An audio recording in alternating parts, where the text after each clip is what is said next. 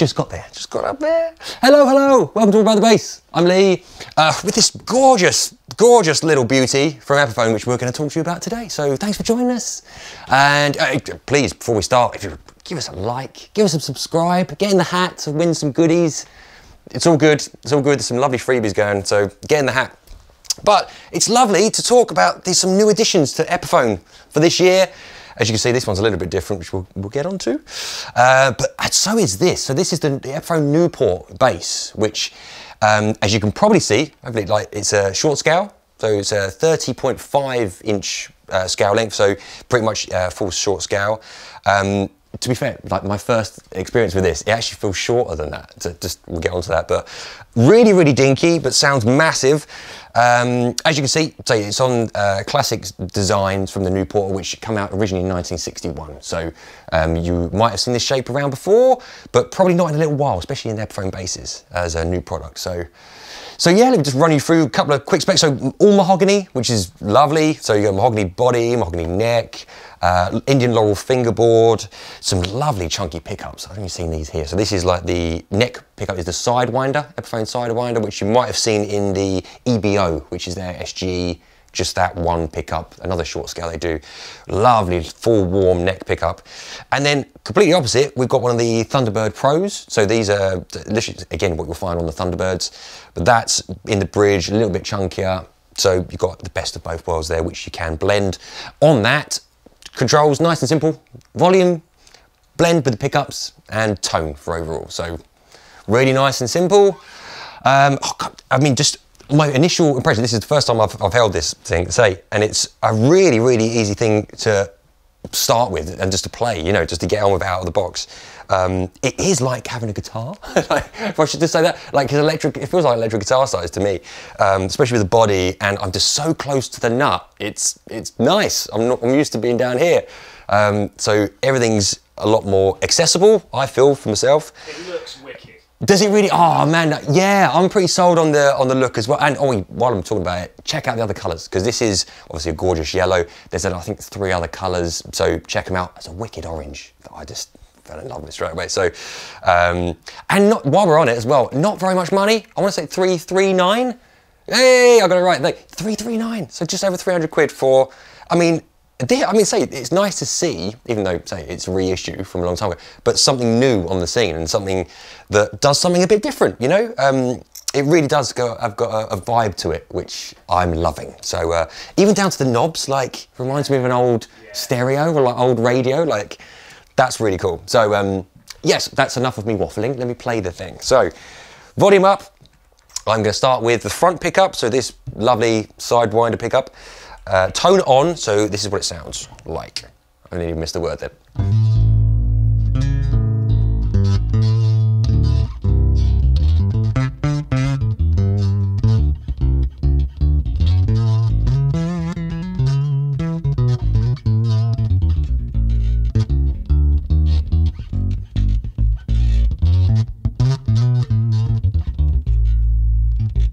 It really is like nothing else. Like straight with just that one. Sorry. Shut up. Stop talking. Half tone.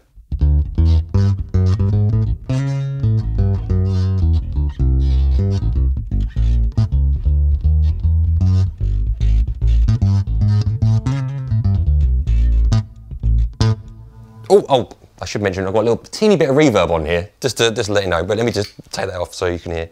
Uh, tone fully off.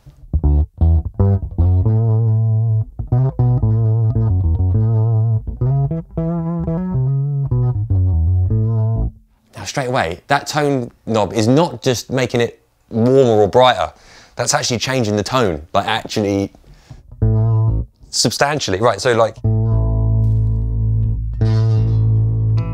that was like a micro movement, like.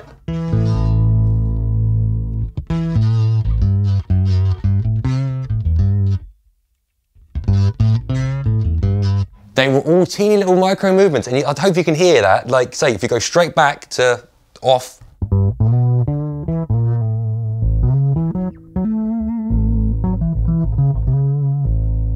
Just got his own thing going on. Anyway, sorry, I'll move on. So, uh, back pickup, right to here, tone on, sounds like this.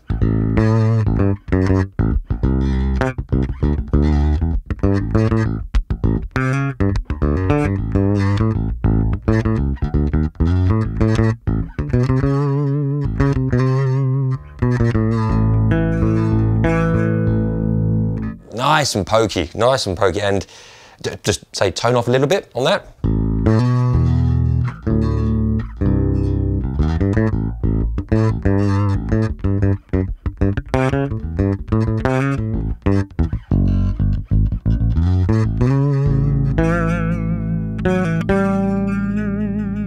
Ah! I'm falling in love. Okay.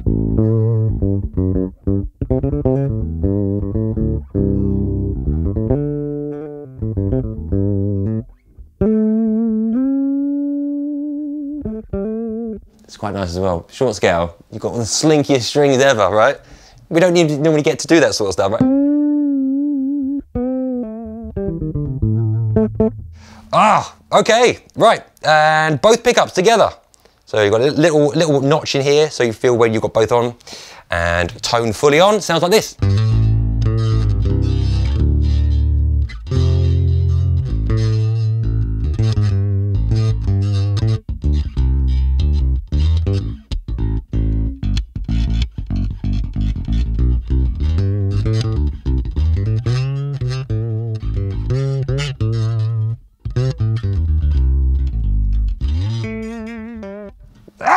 Okay. Half tone.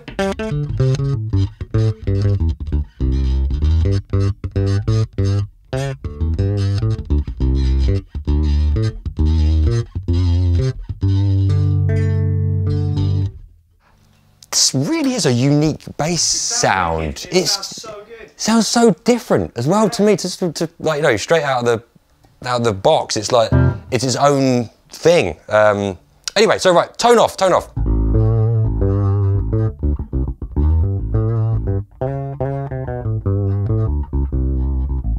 It's always got like a. Can you feel that like filter thing? It's almost like a. Yeah, you're, you're playing with some sort of modulation with it, but.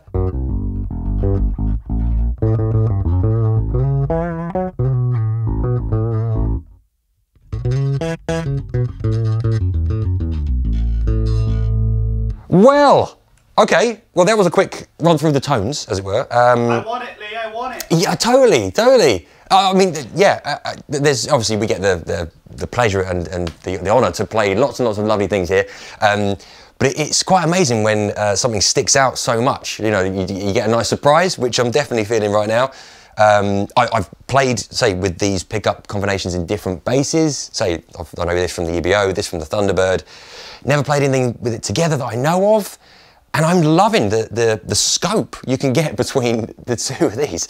Um, again, it might say you might be here and go, oh, what is that? You know, that's just not for me at all, and I, I get it. But I think maybe I'm a jazz bass. I'm very biased on jazz basses. Because I've got a load of those. I love that sound, but I think you know if you're used to that kind of traditional sound and you want something completely different, obviously the scale of this is adding to it, so you've got a little bit more flexibility in giving the strings. As I was saying, you know, you can bend, uh, you know, bend some strings if you want to get into that kind of technique. But I think with that and the pickup combination and the mahogany, obviously rich, bassy kind of wood, I think just, you know, perfect little combo for something different. I think so. Um, well, I'm going to just keep gushing about this. I think if I don't shut up. So, um, say, check out the other colours. You know, this is this is the thing it does. It's it's, a, it's an interesting little little uh, little bass. Short scale as well. Obviously, we haven't touched on that too much, but obviously, if you are a smaller bill or you're you know a child starting or someone slightly younger. Uh, guitarists, of course, you know, if you're not, ah, you don't want to stretch all you know, out that way, then this might be something to look at. And especially, I think, if you're digging the old school kind of vibe with a twist, some sort of weird filter action going on, I think this might be something to look at. So, sweet, there is the Epiphone Newport for 2023. Hope you enjoy that. And give us two seconds and we'll swap over to this beauty over here. Hello, hello, we're back. We're back. And things have got a little bit more acoustic than they were. So uh, this is the, the Epiphone brand new. So this El Capitan J200 sort of um, acoustic, electroacoustic bass guitar um, for all your campfire needs, as it were, um, or something else. I mean, say if you're after that acoustic bass sound, obviously you know they, they there's a few on the market. A few of the other brands, big brands, have, have been uh, utilising for the last few years, doing some different models, quite affordable. This is in that same sort of range, um, possibly a little bit higher than some of the others, at around sort of three, four hundred. This is just about 630, 640. So um, a little bit higher, higher quality than some of the others that we got in stock. Uh, but just to run you through a bit of the specs. So this is, again, lots of mahogany. So we've got uh, laminated back and sides mahogany, uh, solid mahogany neck, uh, a solid Sitka spruce top. You've got Indian laurel fingerboard again. Um, I think this is Indian laurel again. They, I'm sure they wouldn't change it out. I'm sure that's the same Indian laurel wood there. Um, maple, flame maple binding. I've just seen that as well. I don't know if you can see that. Whoa some beautiful, anyway, so all that like back and front and the neck using that that maple, sort of flame maple binding. nice little touch. Um, and say on the back, to show you the back, nice and nice and swish. This neck is actually really, really lovely. They're using like a satin finish that this one is a full gloss, by the way, on that little short scale, but this has got like a nice kind of satin finish on the back of the neck, obviously full gloss on the on the main body. So, yeah, so this this won't take too long. Let me just show you what it does. You might think be thinking, like, where's the volume? Where's the tone? There's nothing on here. They're tucked in under here, so they're hiding. So just underneath the sound hole, we've got a little tone on the left and a volume on the right. Okay, so I'm just going to turn, as we had the volume up in the intro, just turn this off on the instrument so you, all you're to hear now is just straight through the, the Neumann mic here. So, this will pick up everything, so I might not make some mistakes here.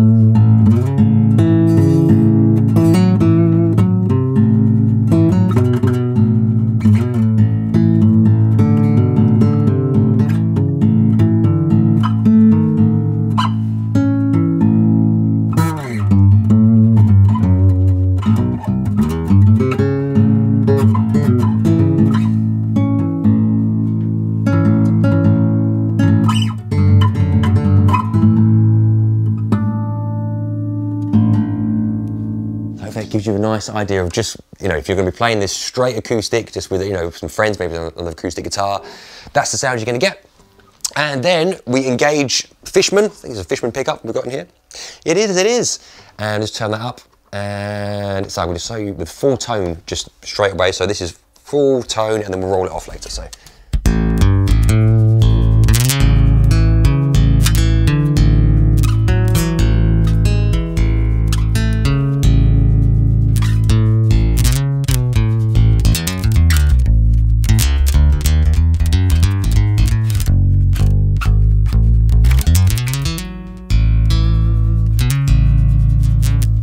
Tone off a little bit.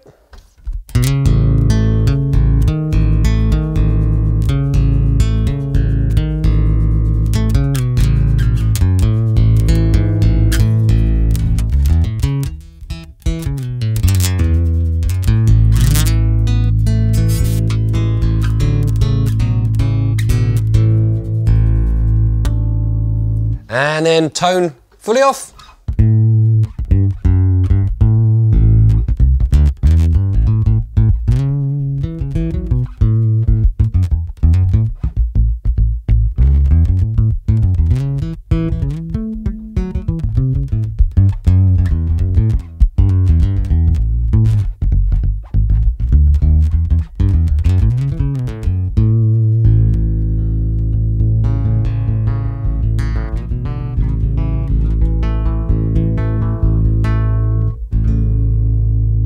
This is nice. It's nice. I'm sure I'm warming to this as a as I as I play it. Um, my initial, I'm going to be totally honest here. I haven't got much experience with playing acoustic basses like this, electro-acoustic basses.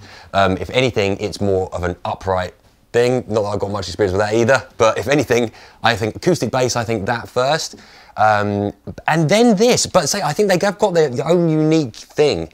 Um, they've got quite like a nice natural compression to the sound when the full tone is on, um, and you're going it through the through the speaker. It's got this kind of like squelchy kind of compressed press sound to it, which um, is obviously something unique to when you build an acoustic guitar to this size, this scale, um, using obviously bronze strings at this scale length as well, and this thick, you're going to get different um, different tonalities, obviously, to nickel strings and, and solid basses. So, um, so hopefully, it's if you're in the market for an acoustic bass, this is a new one on the market, so you can test out against, say, Fenders and Alvarez and some other brands like that that have got some some other similarly priced basses. So, hopefully, this might be something that's up your street.